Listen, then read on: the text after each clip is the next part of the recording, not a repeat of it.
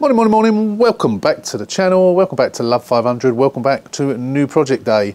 We have just been and collected a new car. The fact that I've collected it might give you a clue as to where it's come from. Let me just quickly show you the bits, bits of the journey uh, and a little bit of film in there where another car was being picked up, not by me, that was going on the back of a trailer, a nice mint green facelift. Uh, but we've driven this car back and it's bellissimo, it seems to be, fingers crossed. I've already named it. This is Project Dickie. let's go and let's show you the car.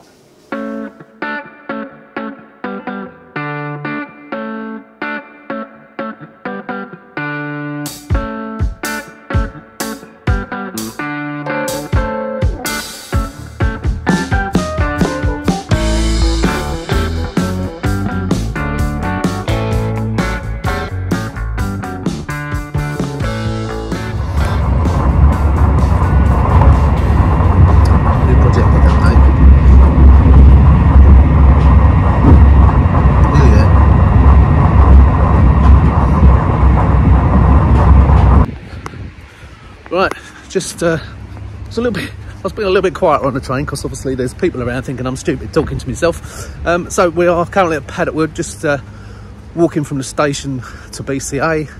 We have another BCA car. This will be my third car from BCA. Uh, this car is a former Cat N from, it was Cat N in 2019. Quite low mileage. Um, I think it's a trade-in from to a dealer. Um, and obviously dealers don't necessarily want cat cars to sell, so they stick them through the auctions. So I think I've got a really good deal. Um, obviously I won't know for sure until we've uh, gone over it. Um, I have a little bag with me. In the bag, oh, there's a Fiat 500. Hello. In the bag is um, a bottle of oil, a litre of oil. Uh, it did say on the BCA mechanical report that uh, it was low in oil, so I thought I'd bring some with me.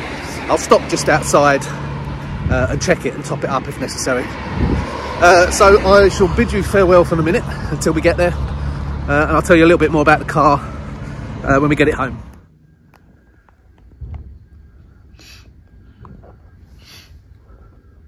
That's not my one, I hasten to add. Obviously, it's off now. Nicky. It's that 63 plate. You can see it's white.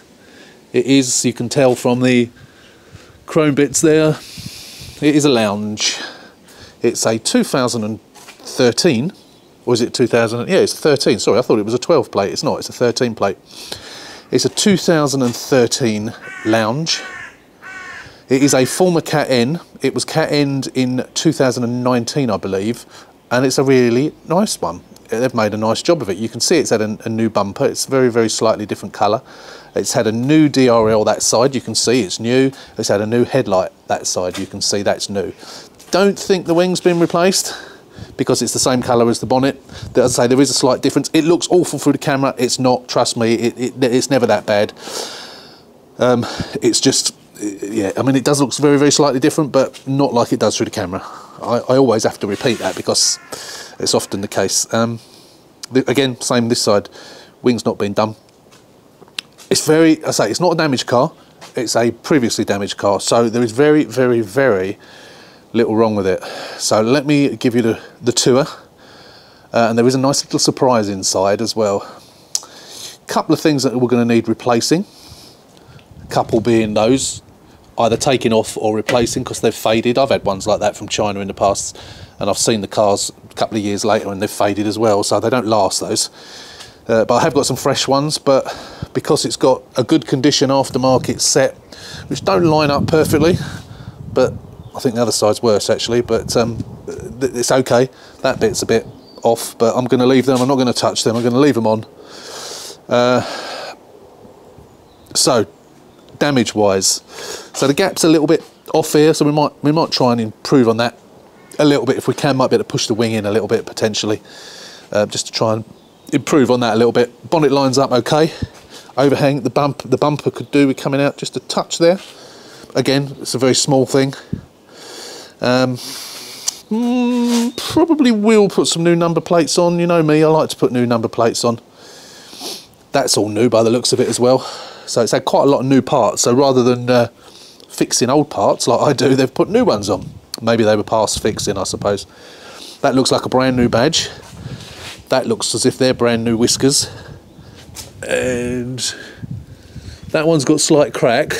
That one looks new, so it, the, the, damage was obviously down here somewhere. Um, and they've replaced that, everything pretty much this side. But that, that grill certainly looks new as well. Uh, right, moving around here. No damage on the wing, as we say, we got a, a faded one of them. Mirrors are good. No damage down here. I mean, BCA marked a couple of marks down on the sill, but I can't actually see anything. Certainly not on this side. We'll have a look. There's a bit of mud over it. I mean, it needs a bit of a clean. It's not filthy like they are when you get them from Copart. Um, and I think most of this dirt is where I've just driven it back. But yeah, that sill is fine. Doors okay, quarter panels okay, roof looks okay. I haven't actually looked yet. I haven't looked inside the boot or anything yet. No service history with it, I don't think. I've got the logbook, but that's about it. Um, we have, uh, yeah, I'm going to get some new, yeah, well, yeah, that number plate's all cracked anyway, so yeah, we'll get some new plates. Rear bumper's all good. It looks like a relatively new exhaust actually, because that sticks out quite. I think that's an aftermarket exhaust, but it looks relatively new, which is a bonus. Moving around this side, no damage here. And they put an arrow down here somewhere as well. Maybe there's some little tiny scratches or something. They are pretty good BCA, eh? I have to say. They mark everything. But yeah, nothing, nothing at all.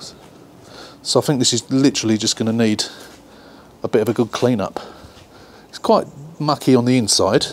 Um, before we go on the inside, I'll pop the bonnet and I'll show you under there. Got two surprises actually. One under the bonnet and one inside. Uh, it has unfortunately got the horrible red seats, which might be a uh, minus point. Well, it not might be, it is a minus point, unfortunately. Um, but uh, yeah, we won't worry too much about that at the moment. I'll just, while I'm standing here, I'm just going to stroke my lovely BMW. Got to stroke it every day. Right, let me let me pop the bonnet and um, I'll show you under the bonnet and show you what other surprise we've got under here, which is a cracker. Right, as this, although this was replaced, it is solid, but we have got a broken tab just there, but it is absolutely solid. That actually looks as maybe this wasn't replaced then. It looks as it, or maybe they bought a broken one, one with broken tabs, because that there has been bonded, and that bit's missing. Has it had a new front panel? Yes, I think it has. The only reason I know it's had a new front panel is because with a start-stop car, you have the sticker just there. Oh look, that's broken, so we'll have to we'll have to change that. Yeah, that's loose, so that'll have to be changed or repaired. We'll put a repair tab in there. There's nothing wrong with the headlight. So that was probably bonded. Yeah, I think that's been plastic welded rather than bonded, but it's come away. So uh, I might try and do that without taking the bumper off if I can. I might have a go at that because if I just take that off and then cut that off I might be able to get a bracket on there potentially and screwed up by doing it underneath without actually taking because obviously I've got to take the bumper off. And apart from that I don't need to take the bumper off.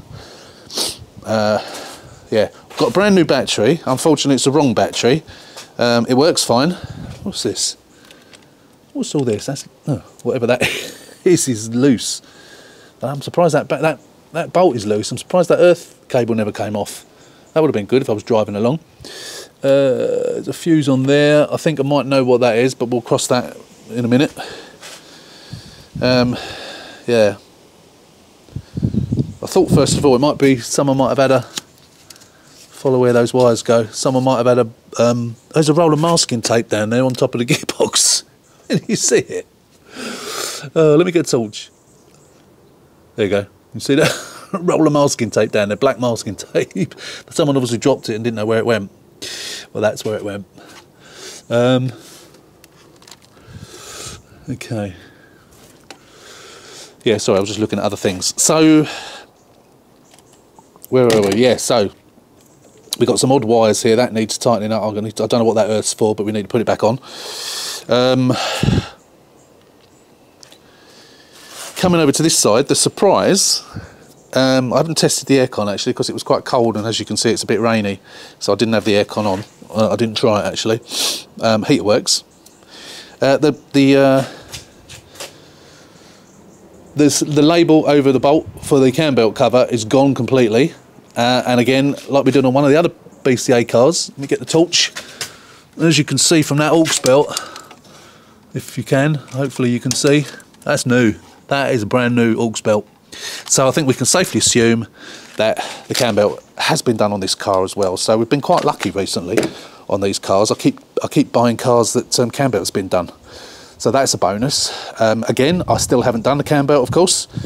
Um, and I, I had intended to do it on this one, and of course now I don't need to, which is good for me, uh, not good for the channel. And I know a load of you are bursting for me to uh, actually do one, and I'm sort of bursting myself, but now winter's come, puts me off a bit. Uh, well, not winter, it's autumn, but we'll see. When it needs, when one needs doing, we'll, we'll tackle it. Uh, but yeah, it's pretty clean under here actually. Um, the oil was very low. Um, I think I mentioned this on the uh, on the previous footage that I took on the phone when I was en route. Is um, yeah the the mileage. What is that? Don't know. Chuck it on the floor. Oh, it's dirty. Whatever it is. Yeah, the oil was very low, so I, I, I now take oil with me when I go to BCA um, in a one litre bottle uh, and I just top it up each time. And uh, yeah I, do, I, I, wouldn't have wanted to because I was doing 60 70 mile an hour coming down the uh, dual carriageway coming back and I wouldn't want to do that with a very very low oil. Um, obviously we don't know there is sometimes a reason why it's a low low oil. Hopefully it hasn't got an oil leak. Let's have a look at the oil filter uh, yeah it's not a new one so we'll be servicing it uh, we haven't looked in the boot yet have we um, that I can imagine. Oh, I bet that's the date when the um, when the cam belt was done. Eleven. I can't read that. What does that say? It looks like eleven ten. I don't know. What do you reckon that says? Eleventh. Is that the month and year? Is that eleven twenty? And an H? Don't know. What do you reckon that says? Could be or the 11th 2020 don't know don't know what that says. It could potentially just be a new a new bonnet couldn't it? But I think that's probably um, when the cam belt was done. Because I know some people when they do cam belts do do that on there. I've seen it on another car where it's been done on there. Um, but yeah I'm not sure whether that's a new bonnet or not. Matches in with the rest of the car so possibly not hmm, don't know anyway let's uh, let's continue let's have a look in the boot right let's open the boot it works, which is always a bonus. They always put the mats in the boot in these. Mats probably need replacing. No rear shelf. I didn't order one just in case it was in the boot for some reason uh, and we didn't know about it. Uh, I've got an interesting wire there, so I know what that's for. But so we'll, we'll, mm, yeah, I know what that is. So I might have to try and redo that in a different way. Yeah, uh, well, we'll come to that in a minute. Um, let's just have a look under here. So what we got? Got spare wheel. It looks like hopefully the locking wheel nut key. We haven't got the insert, but I've got one of those. Oh, got two locking wheel nut keys. Hopefully that means they've uh, they had a spare one rather than it's got two different different ones. What is that? Don't know, but we got the jack. Uh, we got bits and pieces, so um, I say I've got the insert. I've got one of those, so I can put that in. That's not a problem uh, yeah, nothing else to write home about. So it, I don't know if you've spotted it in in the footage. You probably already have. 268 as opposed to 268A. Same difference. Uh, yeah. Before we go on the inside, let's uh, let's show you the wheels. So we have almost a brand new tyre on that. Can't see what the make is down here. Too dark down there. Yeah, virtually brand new. The wheel's in good condition, no scuffing whatsoever on that one. Come into this one, very, very, very minor scuffing. A good four or five mil on that. And that one's good, that one's okay. Come around to this side. Again, zero scuffing on here, maybe a couple of little tiny bits there. Again, four or five mil. Yeah, that's a good tyre. And then this one, oh again virtually brand new and no scuffing so wheels and tyres all in very very good condition love it so far so good Right, let's show you the inside. So as you can see, we have the beautiful red interior. Now there was a something on Copart about marks on the rear seats. Now I have got a set of rear seats in this colour, but I can't actually see anything. I thought there was going to be rips or something, but there isn't. It's just dirty, just needs a wash. No blimmin' service history, which is annoying, but you know what, that, that's because this is a former Cat D, of course, uh, Cat N, so uh, of course, uh, well, as, as we know, when you get these cars from salvage, you don't normally get get the books with them, which is unfortunately. Only one key, just gonna have a look in there. Put my bag down there. Yeah, I don't think there's anything else down there except, let's have a look in here. Nothing. We'll have a look in the little drop down compartment. Not that service history would, well actually service history would fit in there I think. I don't think I've ever found anything in that, in that little compartment. Right, let me show you the other surprise in the car in case you hadn't already seen it. Right, what I don't particularly like is um, this gear knob. Now I think these came off of earlier cars. Uh, I'm not going to change it. It's not. I was when I was first got the car. I thought I don't like that. I'm going to change it. Put a normal pull ball one on there or snooker ball, whatever they are. Um, but I thought, no, nah, let's just leave it. It's not my personal taste, but you got the mileage, the, the gearing on the uh, on the gaiter there because it's not on the actual top.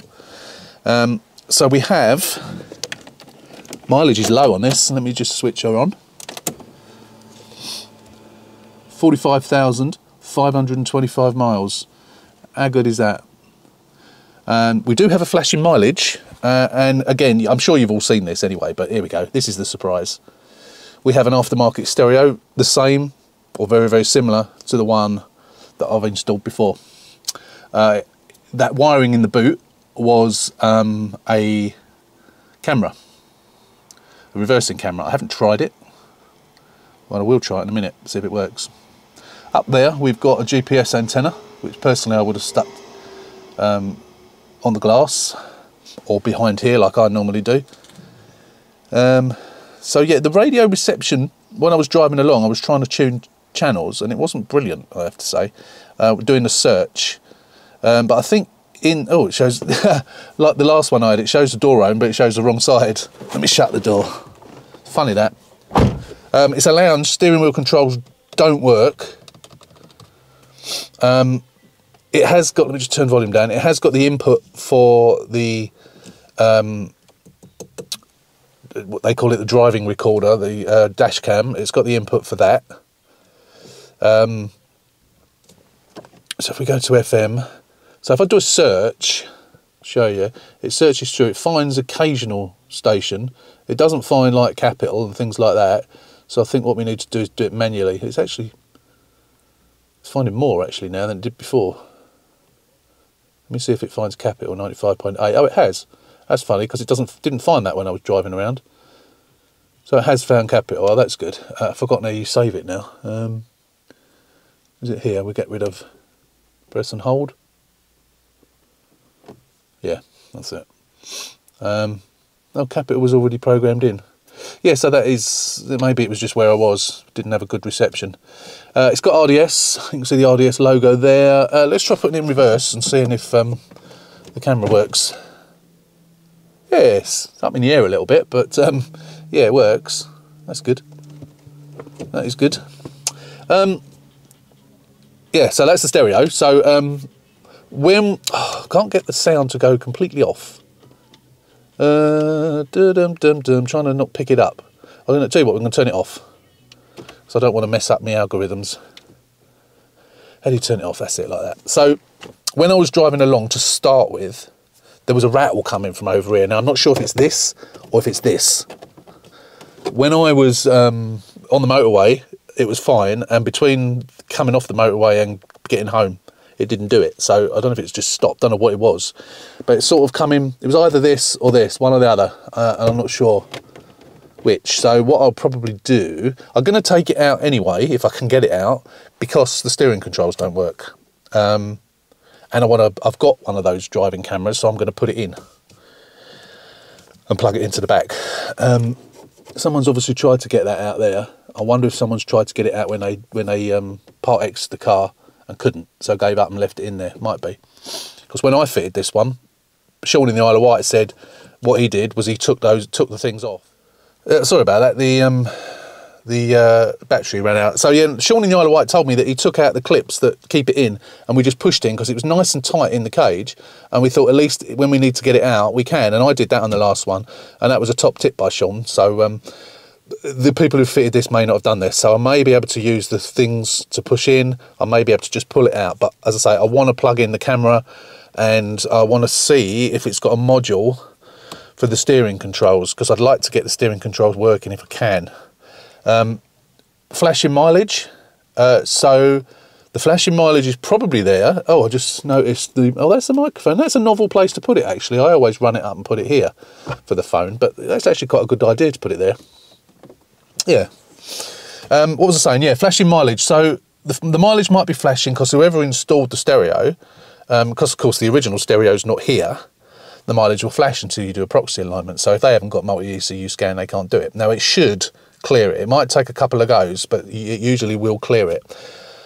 Uh, because obviously the Blue and Me is unplugged. Now, we don't know whether the Blue and Me is knackered, and that's why they put that in.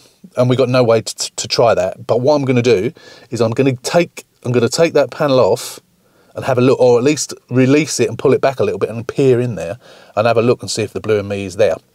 I might actually try running multi-ECU scan and seeing if it can connect to it which even though it's disconnected from the stereo, because it's still connect, if it's still connected, um, it should still show it. So we'll know from, we should hopefully know from that whether it's there or not. Um, if that is inconclusive, I'll take the back panel off and I'll actually take it out because I can keep it and uh, and then try it in a car that I need one in next, which will obviously save me money if it works because they're expensive. Um, nothing much else in the car. We've got a missing screw up there by the looks of it, or a loose screw. Um, yeah, nothing else really to. So there's no burns or anything in the seats. Just a bit dirty. Just needs clean. Um, apart from that, it's all good. So we've got the logbook there. I'm not going to show you it, which shows the name of the person who lived in Ashford. Um, yeah, say this came from a dealer. Forgot the name of it now. Um, but yeah, it was it was quite clearly a Part X. Um, so I think that's about it. So 45,000 miles, 2013 Lounge, former Cat N. Just turn ignition off. One key. Couple of little bits to do. No bodywork to do at all. Apart from maybe trying to push that over a little bit. Um, clean the engine up. Give it a service. Do I put another battery in it? I should do really, shouldn't I? Because it's got the wrong one in it. So really I should spend the money and get a new battery for it. I keep that battery. A, looks almost new, but it's the wrong one. Um, so these wires, I think these are probably from the stereo. Why that one's disconnected, I don't know. Again, probably they were going to disconnect it. So rather than them doing it to the fuse box, they've got an inline fuse there and they've just wired it into the... Uh, or that could be just... that. Oh, that's going to be the permanent live, isn't it, I suppose? And they've run it through the bulkhead somewhere, which is pro probably why that uh, roll of tape is down there. I must remove that. Um, everything else under the bonnet, from what I can see, looks good. Yeah, can't see anything that springs out anyway. Hopefully we haven't got an oil leak. Uh, I will obviously inspect under the car. Um, once I've moved the car out of the way, we'll know whether it's an oil leak or not. Hopefully there's not. Hopefully it's just, you know, it, it, it wasn't topped up or hasn't been checked since it was last serviced and it's used a bit of oil, which they do, of course. They do use a little bit of oil, so that's why you need to check your oil. Um, there's no smell of boil, burning oil or anything like that, so hopefully it's uh, it's just something simple. Um, that's it, I think. So uh, let me tell you about the the, uh, the figures. Um, I am aware that I forgot to tell you about the figures on the uh, the blue car, and I will cover that in the definitely cover that in the next video. Um, we have had two two videos for that car and I did forget to tell you, uh, but we will cover that. So I wasn't in the market for another car. I've still got my 500X. For some reason, it's not selling. I've reduced the price. I've now put it down. I initially put it up for nine and a half, which I thought I'd easily sell. Um, no interest. I've now put it down to 7995. No interest. I've got lots of people watching it on eBay, um, but no interest, not even an offer, which I'm really, I'm really surprised about. I'm really, really surprised. Um, having said that, um, Alex at Car Salvage 101, uh, been talking to him via Instagram, and he, he's he's got two of his cars up for sale, um, cheap as well, and he hasn't been able to sell them. He did have someone coming today, uh, and someone who inquired about a black one with me. I've given the details of his car to her. She hasn't come back to me yet, so I don't know what the situation is with that, but hopefully. Um, but yeah, so I don't know if generally cars are not selling at the moment for some bizarre reason, cost of living crisis, but ULEZ, of course, around here. But, you know, these are ULEZ compliant, so, and of course that doesn't affect uh, where um, where Alex lives. But um, yeah, strange, strange that I haven't sold the X. But what I was what I was coming on to was um, I wasn't in the market for another car at all. But I always look at Copart and BCA and see what's going through, and I do keep an eye on the um, the the previous uh, previous write-offs because generally the people who are bidding on BCA who are dealers don't want them because it's the dealers that put them through. Um, so there's less people bidding on them, which is why I got this at a good price.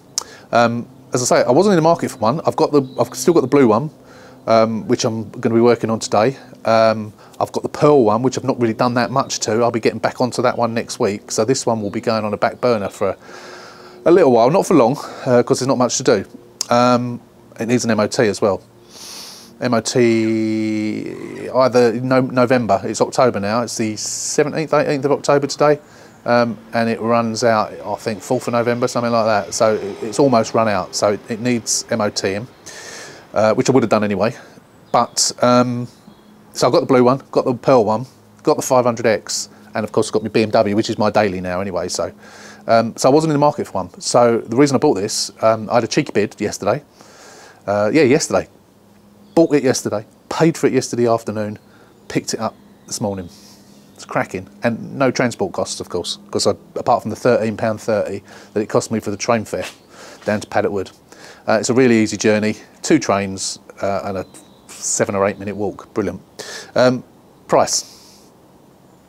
I was think I was probably only up against one other person, uh, and I got it for the hammer price of one six fifty. One six fifty. It's a cracker. Their fees are lower than Copart's, um, uh, and it came out at one nine nine nine. So call it two grand. It was one nine nine pound thirty, I think it was. So call it two grand. Not bad, is it? So I reckon I can sell that for three and a half. I think three and a half is a good price. I seem to sell a lot for about three and a half.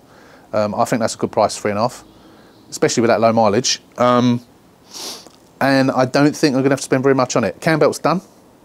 Service, what's the parts for a service? Less than £100. So service, clean the seats, uh, stereo, a little bit of work, but I don't think to spend any money. Camera I've already got, although I've bought them before, you know, it's probably 12 quid or something like that. Um, that's it, basically. I don't think there's anything else I need to buy. Unless anything else comes to mind. I've got to sort that headlight out, of course, but again, that doesn't cost me anything. I've got the brackets. If I haven't, actually, I'll check. If I haven't, I'll um, I'll buy some. I think I've got a bracket for that side. Um, and that's it. And a good clean. So I've actually not got to spend any money on it. So I could potentially make a nice little profit out of this. Um, I know it's not really what the channel's about, this type of car. Um, and I have done a well, this is my third one like this now, but I'm, I'm not going to do this all the time. Um, it's just that, you know, for a quick turnaround every now and again, I'm going to buy one. And of course, it is still content for the channel. And if anyone out there wants to do a similar thing, the only problem with BCA is you have to be a trader or you have to have trade insurance, sorry. Um, so you don't physically have to be a trader, but you need to have trade insurance and you need to prove that when you open an account with them. So you can't just register like you can with Copart and then buy a car. That's the, that's the only issue. Um, but buying these former cat cars like this, as long as they've been done properly, which this one certainly appears to have been, and it seems to have been looked after, it's had added extras on it, it's a good buy. They must have given one more than one six fifty in part exchange, mustn't they, on this? They must have done. Be interesting to know, but I don't suppose I'll ever find out. Although I have got the name, of course, on the logbook. Um, and I don't think there's an issue with BCA if you were to contact the, uh, unlike Copart, who don't like you well, part of their terms and conditions is you not contacting the former owner if you happen to find out who they are. Um, but basically, I don't think there's a rule. They give you the logbook, it hasn't been redacted, so um, yeah, all, all, seems good. So I might have a little Google, see if I can find her, you never know. and I can ask her then. Um, so that is your walk around. So yeah, one nine nine nine pound thirty plus thirteen pounds train fare plus about 100 quid for service. I might stick a new battery in it, I don't know. So we're going to spend less than 200 pounds or and an MOT as well, of course. So yeah, less than 250 pounds, we'll say. And a very quick turnaround. So I will see you on this car probably in a couple of weeks once I've finished uh, the, the blue one and, and Pearl. Um, of Pearl's not got much to do. And then we'll get stuck into this and get it finished really quick. Uh, hopefully in uh, maybe even in one video, you never know. Um, but until then, thanks for watching. Let me know what you think of this car, Project Dickie. Um, and we'll see you on the next one. So don't forget, if you're not a subscriber, click on the button, subscribe to the channel. Until the next one, as always, take care, stay safe, and we'll see you soon. I'm out of here.